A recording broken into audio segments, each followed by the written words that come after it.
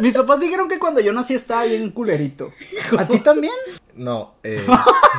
A mí-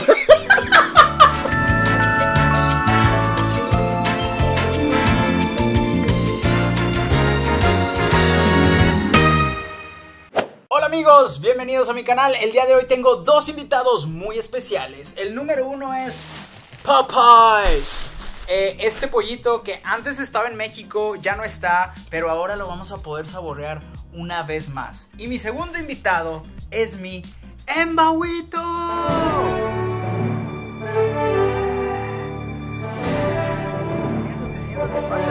Hola, ¿cómo están todas las personas hermosas que nos están viendo esta linda mañana, tarde, madrugada, noche, cuando sea? Es un placer estar aquí. Es Popeye. Mi hermano es muy. Él es Popeye y Yo mi hermano Popeye. está en esta bolsa. Lo de. Y ahora vamos a hacer. Popeye es un psicópata que me contrató para hacer este video. Vamos a empezar con el unboxing. Eh, nuestra experiencia con Popeyes es que era muy delicioso y luego nos dejó, nos desapareció, desapareció de nuestras vidas. Algo que yo no sabía de Popeye el marino es que se llama Popeye, porque pop es que explota, eye es ojo y significaba que le explotaba el ojo. Ojo saltón. El ojo loco. Pero bueno, en, en la traducción al castellano siempre fue Popeye. ¿Crees que el marino? Pero bueno, el día de hoy, según yo antes, la imagen de Popeyes era Popeye, ¿no? Y Sí. ahora solo es un pollo, como que los demandaron. No sabemos qué pasó. Pero bueno, vamos a empezar a sacar nuestros nuestros Vamos alimentos. a ver. Esta bolsa está aguadita.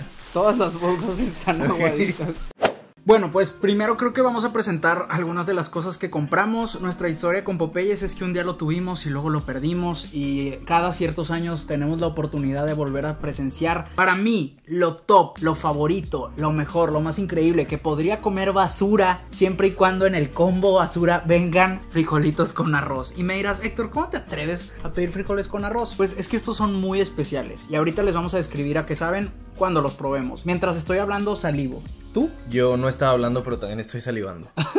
Pedimos algo, algo chido del pollito este eh, Popeyes es que, bueno, tienes dos opciones, el normal y el picante. Y este, dentro de la pielecita, viene picante. Lo preparan con, con una... Está sazonado desde antes del paso del empanizado. Exacto. Eh, eso es Desde admirable. antes está bendito. Obviamente también nos incluyeron eh, pures... Ah, chinga. Ah, Puro arroz. güey. quizás ese es el puré, Esto ¿no? es demasiado. Tenemos cuatro paquetes de arroz con frijoles. Ah, aquí está ok. el puré. Un poco de puré. Un- Es tradicional. Ajá. Parece un... Parece un excusado. Cállate. De este lado tenemos una hamburguesita spicy y esto, esto es pollo, del pollo crujiente. Y por acá, yo digo que eso es pollo, pero pedimos una cosa como de pescado. Huele, ahorita lo vamos a olfatear para detectar si es pollo o pescado antes de, De- de de ingerirlo. ingerirlo, porque algo muy importante de la experiencia con los alimentos es sentirlo, olerlo, verlo, enamorarse de lo que vas a ingerir antes de, Claro. de realizarlo. y además, creo que un momento, creo que también algo de sabiduría clave es descubrir si vale la pena comprar pescado en un lugar donde venden pollo. Eso es una gran pregunta de los Masters del Universo. Por si no lo conocen, él es mi hermanito y ustedes nos enviaron preguntas por Instagram, las cuales ahora vamos a contestar. Y la primera que nos hacen es ¿cuál es la comida más rara que hemos probado? En mi experiencia ha sido caracoles y cucarachitas. Creo que ha sido lo más raro. ¿Tú? Caracoles, eh, cucarachas también, pero no voluntariamente. De esas veces que se te cae el ala de pollo al piso y de repente mueres una patita de cucaracha. Claro. Y eh, es común. Creo que esa técnica le llaman la Pedrito sola, cuando se comió la mosca. Ok. Pongan atención porque próximamente vamos a probar productos raros también. Oye, pero qué, qué bonito, ¿no? Comenzar un video antes de comer pollo y hablar de que probaste cucaracha Así es. involuntariamente. Pero bueno, vamos a comenzar. Creo que lo primero que deberíamos de probar es esto que nos da curiosidad. Antes de panzar, panzar, vamos a probar esto. No sé qué sea. Eh, esto, pues, es como un pescado. Es Parece como un anca de rana. Ok.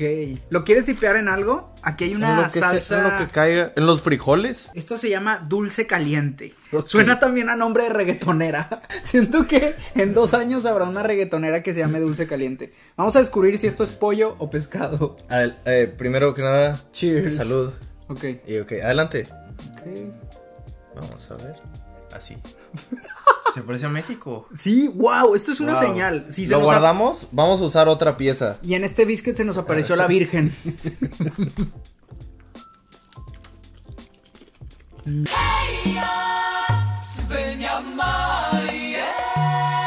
Definitivamente esto es pollo. Pero cuando quitamos esta capa tectónica, descubrimos. Esos son camarones. Nos vino camarón en el pollo, amigos. ¿Habías pedido camarones? Pues se llama surf and turf. Supongo que eso significa. A Ah, es, es un platillo variado. vamos a probar esto. Comiendo camarones a la una de la mañana. Mm. No es tan mal. No son los mejores camarones que he probado, pero no es tan mal. O sea, para, para ser de Popeyes, y es obvio que, ahora que lo pienso, es obvio que vendan camaroncitos en Popeyes, porque Popeye es un marino. Es un marino. Ajá. Eh, lo que está cabrón para Popeye es atrapar pollo en el mar. Eh, eso es lo más difícil de todo.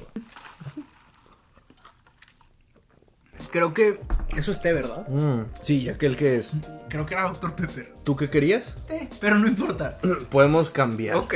Creo que antes de, antes de continuar con el video, creo que tenemos que mostrarles nuestro vocabulario. Cuando nosotros nos saludamos, ya tenemos años que hablamos como p o como Teletubbies.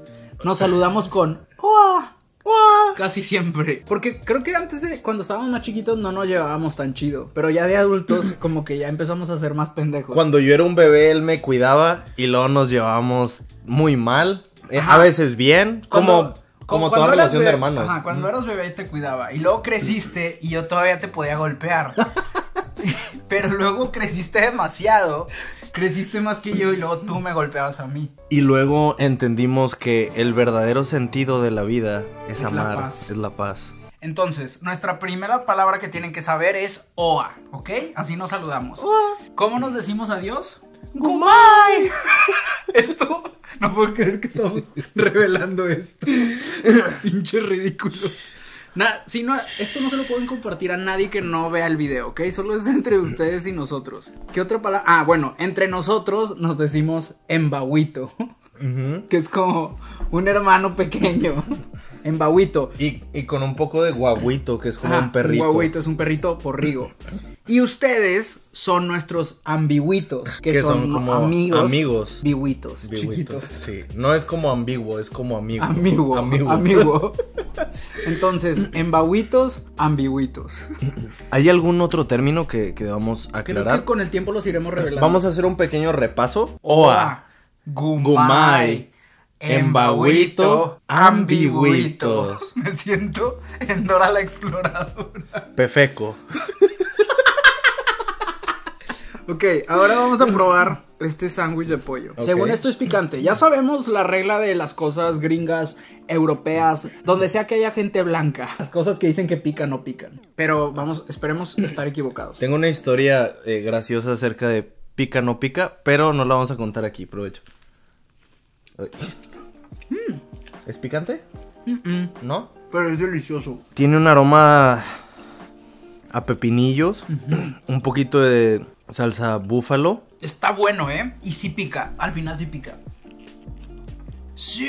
Ese Mm. creo que hasta ahorita es mi favorito. Mm. Sí. ¿Lo consideras un acierto? Es, una- es, es un acierto en babuito. más Y- que los camarones. Sí, el- es que el camarón, Y el... el pollo, la neta, X. camarón no tiene un sabor como que mu- muy vivo. Ajá. Pero lo chido de que estén fritos Bueno, es que te nada puedes de comer... lo que estamos comiendo tiene nada vivo, Ok, afortunadamente. afortunadamente. Pero te puedes comer la cabecita del camarón también porque viene frita. Claro. No desperdicias nada. Y la hamburguesa está buena, está crocante. Sí. El pollo está suave, pero la corteza crocante. picante. Tiene un final picante porque al inicio no, no pica y ahorita deja un saborcito así como a chile. Y los pepinillos nos gustan mucho. Así que hasta ahorita nuestro favorito es la hamburguesa. Algo que descubrí en Popeyes por de las primeras veces es el spork. El cuchador. El, ah, no, perdón. No lo pensé. Eh, el cuchador es mitad tenedor, mitad cuchara, una palabra más que estamos aprendiendo aquí. Así que creo que cada quien debería tomar su propio hasta dos. frijoles con arroz. Salud. Clink. Y vamos a ver. Vamos a ver. Primero, primero tú, vamos a No, ver. los dos, los dos, los A ver. dos. Una, dos, tres.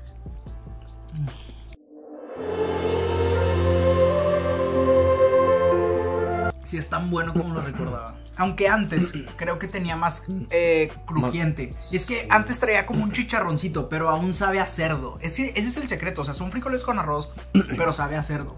a mantequita, a Mm. venenito comestible. Venenito comestible. Tiene un aroma a- hacia tiempos atrás de cuando probamos esta maravilla por primera vez. Creo que cuando pruebas algo y pasa mucho tiempo sin probarlo, verdaderamente te puede llevar a llegar a saber un poco a nostalgia. Y también pica, ¿eh? Algo maravilloso de la comida es que como muchas otras cosas te puede transportar. Y cuando la comida te transporta es maravilloso. Si les gusta cómo narra mi hermano la tragazón, pueden seguirlo en Jump Shorts, que es un blog que tenemos juntos.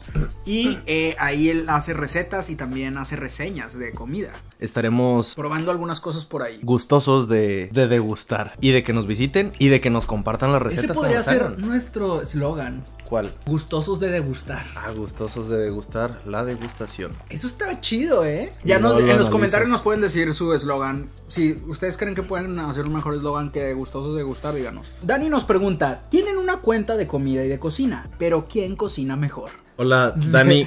Definitivamente tú. Yo hago pura basofia. O sea, a mí se, a mí se me quema el huevito. Hay una O historia sea, graciosa. Nunca he podido deshacer, nunca he podido hacer un huevo con chorizo bien. Nun- nunca. Nunca podido hacer un huevo bien. En el microondas te quedaban Oh. buenos. ya me acordé, ya sé qué ibas a contar. la de la alita. No, cuando estaba chiquito. Creo que era como un sábado que me levanté temprano feliz. Yo creo que yo tenía como 6 años o 5 años. Tú estabas muy chiquito. Pero entonces era como. Agarré uno de esos platos que no debes de meter al microondas, que era de hielo seco. Eché un huevo ahí y un pedazo de pollo y los metí al microondas. Y luego desperté a mis papás y les dije: ¡Ey! Hice de desayunar. ¿Quieren huevito con petróleo? Era un perro asco. O sea, neta. El huevo aguadito. No, el huevo estaba duro, o sea, se unió, se volvió unificó uno mismo. Uno mismo, ya todo. Le podías dar una mordida al plato y mis papás con una cara de asco y ternura a la vez, pero más, pero Como so- cuando nací yo. mis papás dijeron que cuando yo nací estaba bien culerito. ¿A ti también? No, eh, A mí- Mis papás a mí sí me dijeron que cuando nací estaba bien raro, pero luego me compuse. Creo, creo. es guapo el muchacho. Ahora, amigos, es hora de probar el pollito. A ver si es cierto que pica. Creo que hasta ahorita se ha cumplido y roto la regla de que lo gringo no pica. Es que está, está padre que antes del empanizado lo sazonaron. Porque a veces nada más el empanizado tiene todo el sabor. Exacto. Y el pollito entra al, mol- al morderlo es un Es poquito muy plano. muy plano. Y Exacto. eso está muy bien. Creo que ellos lo están logrando bien. Vamos a ver. Vamos Es- a no detecto que es como una pechuga. Tu pedazo de pollo parece como una mojarra entera. Escuchen El crocante. el crocante. ASMR. Oh, sí.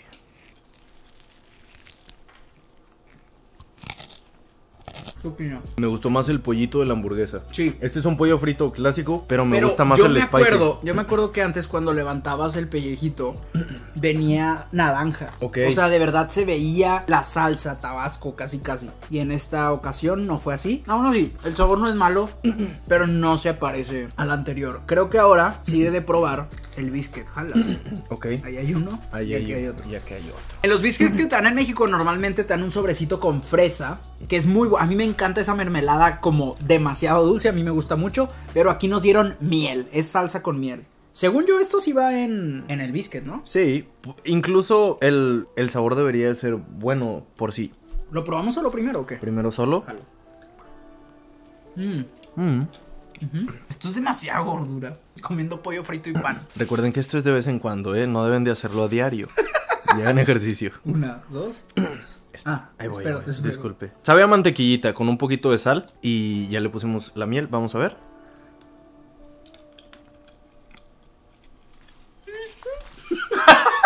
No, al chile no. No me gustó. Primero me supo a pan y luego ya que le puse miel me supo a cartón. La siguiente pregunta, creo que ya sé la respuesta. Ya me dirás tú si es la misma o no, pero nuestra peor pelea es la de los 150 pesos. Fueron 200.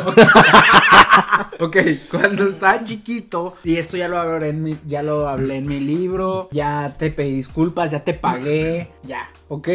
Necesito que lo superes. El acuerdo público en que todo está bien. Ok, ¿va? Va. Porque fueron años de reclamos.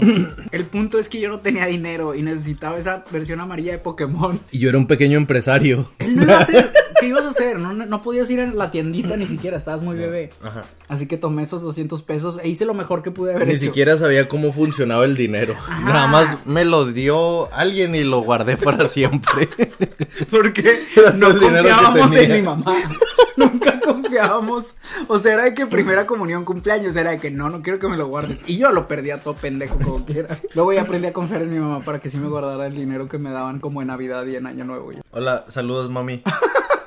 Última cosa que hay que probar es esto de aquí. Se los vamos a mostrar. Me voy a acercar a la cámara. Ah, me permito la osadía de anunciar Ajá. que el puré no ha sido Ah, probado. Es cierto, vamos a ver. Hay, es como un hoyo y hay caldito de gravy en Ahorita se medio. los enseñamos todo de cerca. Ok. ¡Wow! Wow. ¿Sabes a qué sabe? ¿A qué sabe? A puré de boda de rancho. ¿Prueba eso? ¿Verdad que Mm. sí?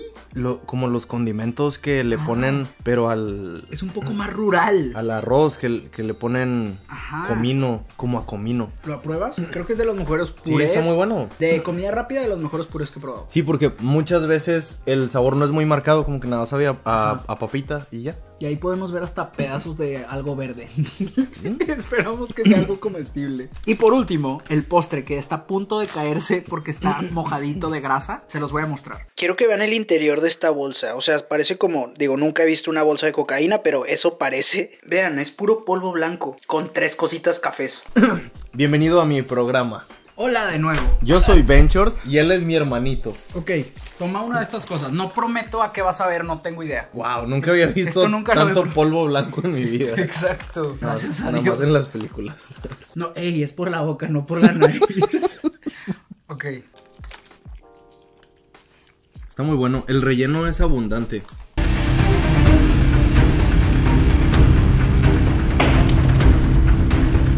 Creo que llegó la hora del veredicto final. ¿Cuáles fueron los mejores y cuáles son- fueron los peores? Si tuvieras que escoger tres para hacer tu comida del día Eso es lo que vamos a hacer. por el resto de tu vida. Ah, ok, ok. Mi número uno definitivamente sigue siendo frijolitos con arroz. Sigue siendo mi favorito, aunque le faltó. Antes traía como tocinito crujiente o chicharrón, no sé qué era. Eso fue lo único que le faltó, pero aún así sigue siendo el mejor.